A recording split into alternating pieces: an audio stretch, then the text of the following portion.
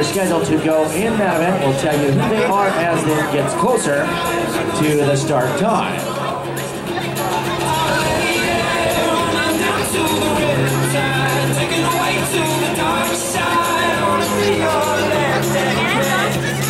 Next on the track, men's 800 meters, just one section, three runners. Lane five, Mohammed Mohammed, Long Beach State.